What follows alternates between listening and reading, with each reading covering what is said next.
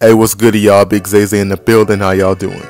Alright, so recently I was scrolling down my timeline and then I came across this old video of Miley Cyrus and Liam Hemsworth at the red carpet where Miley starts feeling him a little bit, then starts licking at his face, right? Just for Liam to tell her to stop. Then she, I think she like pushes him away or some shit afterwards. And in the comments, a lot of people are in there saying things like how she needs to learn how to chill out in public settings. She needs to grow up and stop acting all wild and shit, right? Now, hey, hey, look.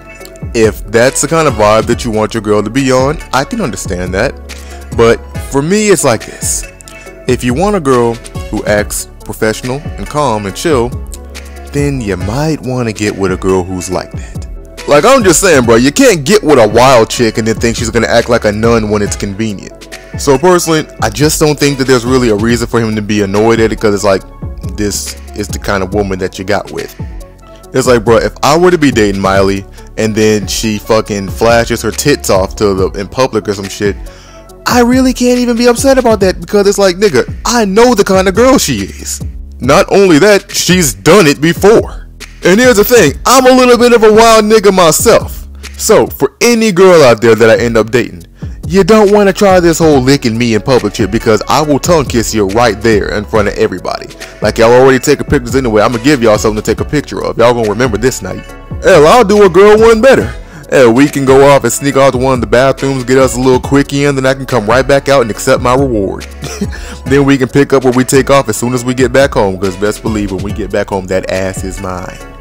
Like, bro, if I were ever to get rich off this internet shit, whenever I do get into a relationship, I'm trying to have the Johnny and Kiss of Sense thing going on, if you know what I'm saying. Like, I'm trying to be in my 30s with my girl, still having sex in, in random places like teenagers. And once again, if you want to live more conservatively, I understand that. That is your prerogative, and I actually respect you a lot for that. But the point that I'm making is, you can't get with somebody that you know is wild and then expect them to stop being wild just because they got into a relationship with you. It just doesn't work. And I'm definitely not saying that there aren't some people that can like know how to just be wild whenever it's time to do it and be chill whenever they want them to. But in general, that's just not really how most people operate. With most people that you deal with, you're going to get one or the other. So just take that into consideration. And honestly, whenever I do, I low key hope that the girl has a bit of an alternative style too. Cause low key, I want to fuck a girl while listening to some dark music.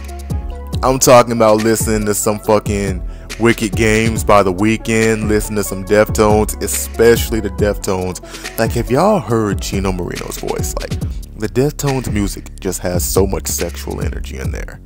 It's gonna be at night too. Our moon sign's gonna be aligning like the TikTok filter. You feel me? Alright, that's enough for me for today. I'm out. Big Zay Zay gone.